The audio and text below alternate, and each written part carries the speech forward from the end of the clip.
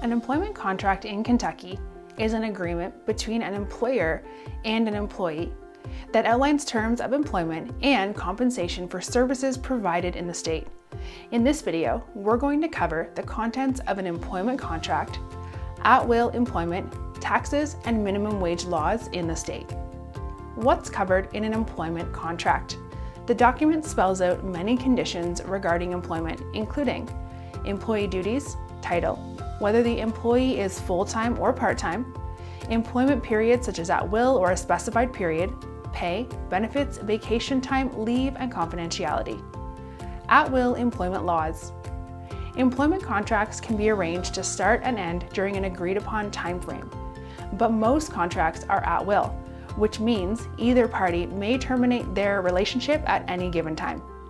There are federal exceptions that prevent employers from firing employees for reasons like discrimination, but many states also have laws that would make certain cases of termination unlawful, specifically under the regulations of public policy, implied contract, and good faith exceptions. The state of Kentucky offers two of these three exceptions to at-will employment. Public policy exception.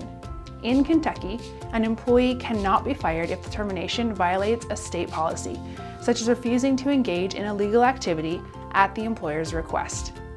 Implied contract exception. An employer cannot fire an employee when an implied contract, such as oral suggestions regarding job security or procedures, has formed between the employer and employee, even though no written document exists. Kentucky income tax rate. In Kentucky, employees pay a fixed income tax rate of 5%. State minimum wages and tax rates change all the time, but we keep all of this information up to date on our website.